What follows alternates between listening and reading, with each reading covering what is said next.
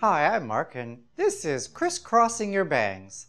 Well, the first and foremost is to make sure you have the right tool. You're going to want a comb because you need to kind of draw your zigzag in to be able to part it. Myself, I like a tail comb because it's kind of like drawing the zigzag on there.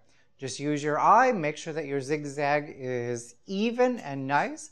Part it, and if you want to flatten it out, use a little bit of water and gel or, you know, some sort of hairspray.